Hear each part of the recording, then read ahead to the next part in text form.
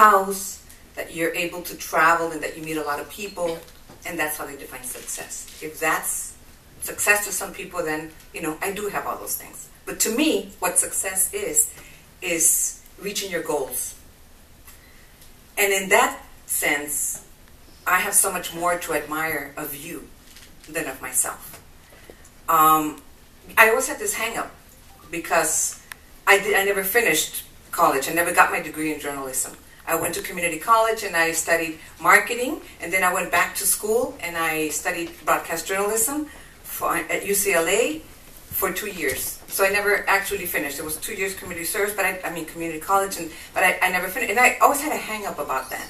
Uh, and my boss, after 20 years that I always talked about the hang up that I had, he said, you know, relax. You have so much experience that right now you could have a doctorate degree, the equivalent to a doctorate degree. So, you know, relax.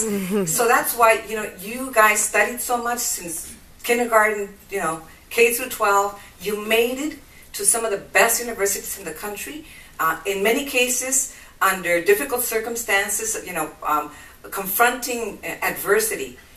So the word success defines each and every one of you here because you had a goal and you reached your goal. That, to me, is what success is. So that's why I wanted to come to talk to you. That's why, to me, it was important to try to make some time in the schedule. Um, you know, to get up at five in the morning so I could take the flight and be here, and now I'll go back tonight because tomorrow morning I have another flight. But you know what? It's worth it because I get to talk to a group of students that inspire me um, right now, my daughters are 15 and 18 years old. That's why when you said one of them had a baby, I said, no! My stepdaughter who has a baby who's 29. and is a college professor, by the way, at 29. Mm. And doing her doctorate so, on journalism, so that's pretty good. Um, so that's how you define success, and that's one of the reasons why, why I'm here. Um, so you're not only successful, but you're also very lucky Yes, you're lucky to be in a like Ivy League school. You're lucky to have gotten a scholarship, but you're also lucky to be a Latino. You know, I remember writing something a long time ago. I remember writing something a long time ago, and you know, I, I, I didn't memorize it, but I, I was just uh, telling telling someone that I wrote uh, an essay called Latinas, and the way that I started is that you know, when I was a little girl, they used to dress me up and they used to make me up and put little bows. And when I got to the age where I realized, you know, I got to a certain age when I realized that it was not only my gender that made me different, but also my heritage, my cultural heritage.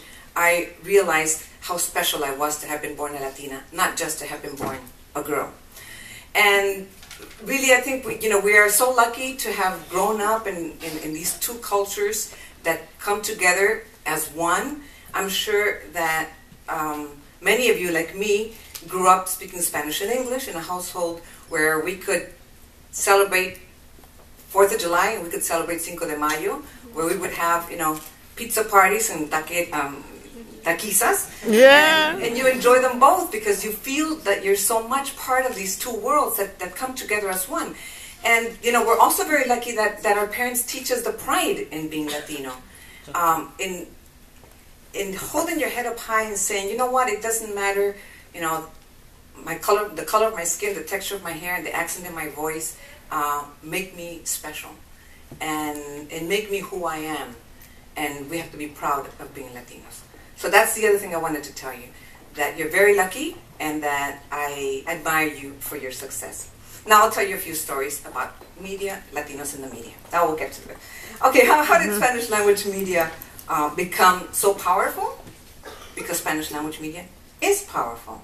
And you know the proof of that? Is that Latinos elected President Obama. 71% of Latinos voted for President Obama, 76% of Latinas voted for President Obama. Um, how did we get, how did they gain that power? How did they gain the information? Through Spanish language media. Um, not because we told them to vote for anyone, because we don't. Because we actually um, do uh, practice balanced journalism, true balanced journalism. I want to stay away from the word objective because I don't think objectivity in the media exists anymore. Mm-hmm. I think that's mm-hmm. old now. Um, I think now what you strive for is balance. And I think we are balanced and we give people the information. This is this party and this candidate and this is what they stand for. And this is the other one and this is what then they stand for. Now, what we do tell them is go out and vote. Your voice, your vote is your voice. And things will not change if you don't vote. That we do tell them. So, uh, you know, I, I would say that we, we can give ourselves a little bit of credit for, along with all these civic organizations and all these movements, Mi Familia Vota, Naleo, Maldef, all these organizations together, we joined forces to make sure that the Latino vote made a difference. Um, so what happened, you know, I, you said I started 30 years ago. Actually, it was a little more, but I'm not going to say that anymore. I used to celebrate my 20th anniversary with Univision and my 25th anniversary, and then when I got to celebrate my 30th anniversary, I said, "Oh my God, I see a problem here." I started when I was eight, and I'm sticking to that story. so how did we grow? Well, we grew all together, hand in hand. When I started working at KMEX Channel 34 in LA, there were 14 million Latinos in the country. Now there's 52 million Latinos in the country. Spanish language television was very small. Univision, it was called Spanish International Network at the time. There was just a few stations, LA, San Antonio, uh, Miami, New York, and you know, it wasn't really a network. It was just a few stations that were kind of linked together. And most of the programming came from Mexico, and we were considered a low, um, low quality, um, you know, low viewership, um, low voltage you know, network or, or stations that nobody watched except recently arrived immigrants. And now we have become a powerhouse where we directly compete with ABC, CBS, and NBC. Well, we get higher ratings in cities like Los Angeles and, and, Miami, New York than CBS, ABC, and NBC in their news in their newscast. Why? Because there's more more and more Latinos that are watching us. Um, so that's we grew hand in hand. We grew not only in quantity, but in quality. Um, definitely in quality as far as uh, television is concerned and as far as the sophistication of the Latino community, who is much more aware now of what their rights are and what their responsibilities are.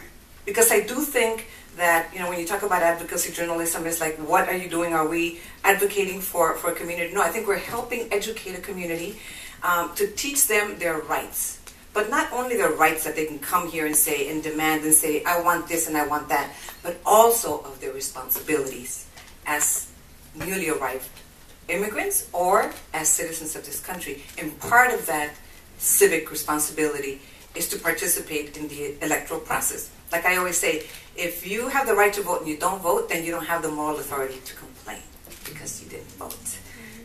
Keep that in mind all the time. So this is how we came to be this powerhouse. I remember when I started working at Channel 34, and I would try to get an interview with a press, with a, any presidential candidate or any politician for that matter. People would say, "Channel 31, where are you from?" And now, of course, you would have to explain Spanish language media, and they'd say, "Well, you know, do we need a translator?" So, you know, we speak English too. We just happen to, we just happen to broadcast in Spanish. Um, now the doors of the White House are open for us, and they have been for a long time. You know, we're very privileged that President Obama, President Bush, President Clinton have been very accessible to us. And not only to do us a favor, but because now they need us. Why do they need us? Because they want to get to you and your parents. And they know that the best way to get to you and your parents and your grandparents and the rest of your, of your family members and, is through Spanish language media.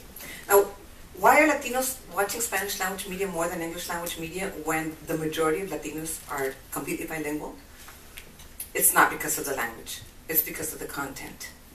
That's what we have become this powerhouse. Because Hispanic, Latinos, bilingual Latinos know that when they watch us, they're going to get the news. They're going to know what's going on in the world, what's going on in the country, what's going on in their state, in their local communities.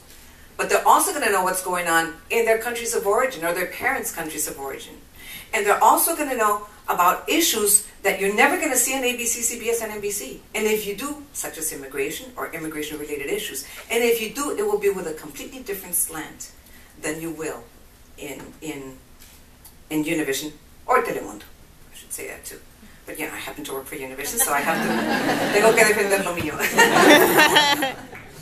but you know, most of um, most of the people that work at Telemundo came from Univision anyway, so we're all a big family.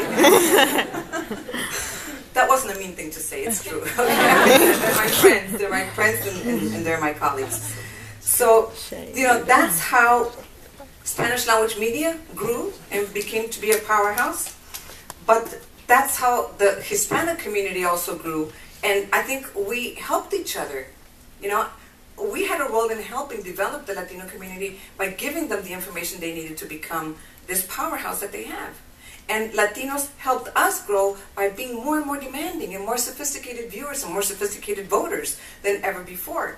So now the Latino community is has so much influence. I don't even know if you understand how much influence we have. All you need to do is look around you everywhere.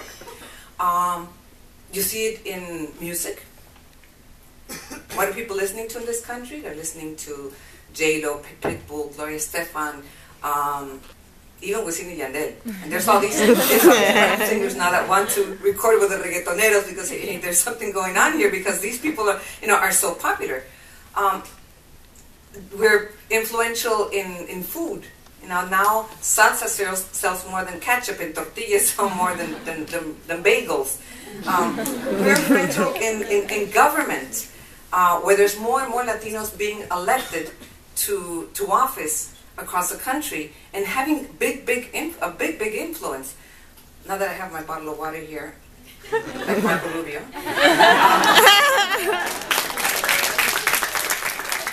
there's a perfect example of how a young immigrant became so powerful that he became the first Hispanic to ever deliver uh, the speech for the opposing party in a uh, for the Republican Party in um, right after the State of the Union. And he did it in Spanish also. It had never been done in Spanish. So you know we should be very proud of that. Whether you agree or disagree with his with his uh, policies, we need to be very proud of that. I have to tell you, why it was such a big deal. I mean, I'm, I'm, sure you know, but this is my version of why it was such a big deal. I, have interviewed many presidents, as, as, you heard, and they always have a glass of water. Always. You have the chair, and then they put a little table next to it. Obama always has it. Here. And a nice glass of water. And anytime he wants to, he can pick up the glass and drink. But I don't know about um, Marco Rubio staffers, but they put the water here and they put it in a bottle. So of course, if you got thirsty, there's nothing wrong with drinking water when you're giving a speech. But when you get thirsty and you have to go like this to make sure that you don't miss the teleprompter cue, then it's really bad. So, you know, I would, I would reprimand his staff or whoever did that to him because that was not very nice. not very nice. There's nothing wrong with being thirsty, Marco.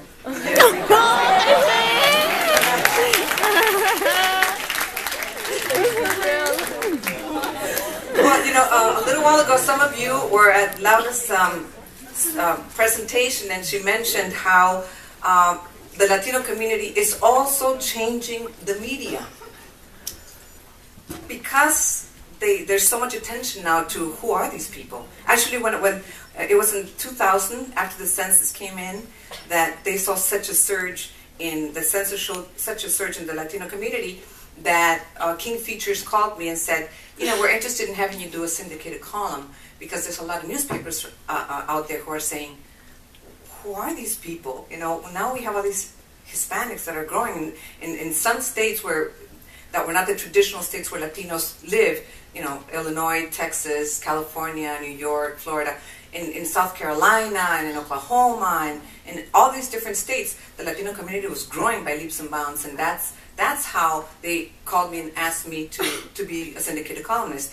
And, and just as you said, now you see so many big uh, newspapers buying Spanish language newspapers. You see the synergy between networks and Spanish language media, such as NBC and Telemundo, such as um, Fox, that now has Mundo Fox, such as ABC, that now has joined forces with Univision to create a new network that is expected to be the first of its kind, it will be the first of its kind, catering to young Latinos or second and third generation Latinos who are dominant in English but are interested in having that angle uh, as part of their information uh, where they can culturally identify with the information there. So that network is hiring a lot of Latinos, a lot of English-speaking Latinos, which is the first time that you see this. Yes, we have some representation in the media, but very little. You can, I think, you know, name in one hand the anchors, and not even main anchors, but people who are in, in who have a, prominent position in in television um, that are Hispanic. Quinones is one of them. Elizabeth Vargas is one of them. Soledad O'Brien is the other. And there's a couple of reporters, I think, on CNN that are that are Latinos too. There's not that many. Um, so, what needs to happen? I think uh, Laura said it best. Now they're beginning to realize just how influential Latinos are. So it's very possible that pretty soon you'll be hearing in ABC, CBS, NBC, and maybe some of, uh, of the cable networks uh, accents in Spanish or faces that are a little bit browner or you know hair that's darker. Uh, because if they don't want to lose out on that audience, then they're going to have to do something to change it. And and it, and it is happening, and it's happening all over all over this all over the country. Look at how many publications are now printed in Spanish. Um, and not only news publications, but fashion magazines are now everywhere in, in Latin America and here. People in español, um, Vogue in español, uh, Cosmopolitan in español. You know, you have all of these. So they are putting their, you know, their money, they're investing in, in this community because, why? Because they know that it's going to pay back. Because Latinos are here to stay, because Latinos are part of the society. We're an integral part of the society. And there's got to come a time where we stop saying it's us against them because who's us then? And who is them? You know, we are Americans. We're hyphenated Americans, and there will always be hyphenated Americans. There's nothing wrong with it. We're Latino, uh, we're Latinos or, or Hispanic American, just like there are African American and Jewish American and Italian American, and there's absolutely nothing wrong with being a hyphenated American. You're not any less American because you happen to have, you know, pride in your in your cultural heritage. So Latinos are here to stay, and Latinos will be the majority pretty soon. You know that by 2050, it, Latinos will be 30% of the population. That's a lot. And yeah, yeah. this we're a very young population. Median age for Latinos is 27 years old. I don't know if you know this, but every 30 seconds in this country, a Latino turns 18 and becomes a voting adult. So we're growing by leaps and bounds. Every 30 seconds, a Latino turns 18.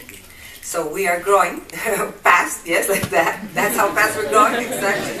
Um, and that's why that's why it's so important for you guys to be here. Because, you know, I don't want to put any pressure on you, but the future of this country is in your hands.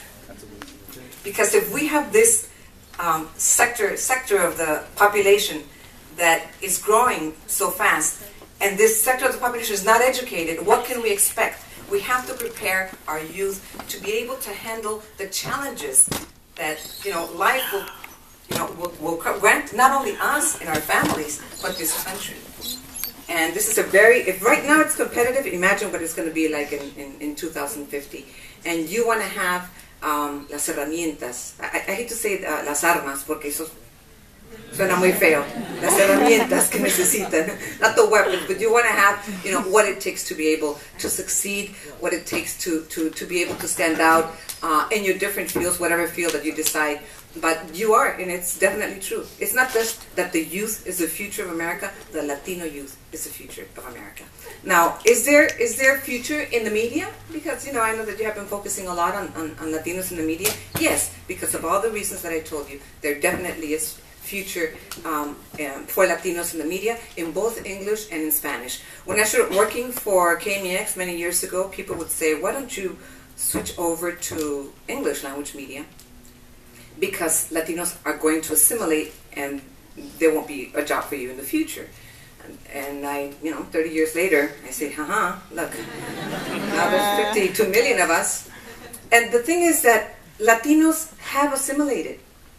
But where they're mistaken is that they think that assimilation means leaving behind your culture and your language, and it doesn't. It means adopting a new one. It means being uh, a Hispanic American and proud to be American and proud to be Hispanic. So here we are.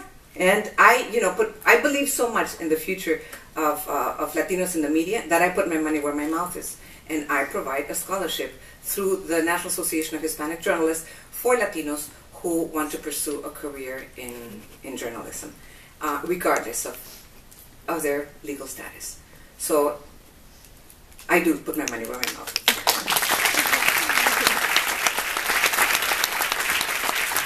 Okay, I'm talking enough. I want to I want to learn a little bit about all of you. Now you ask me any questions that you want, but first I, I know that most of you are from the Southwest, correct? How many are from California? Where Um,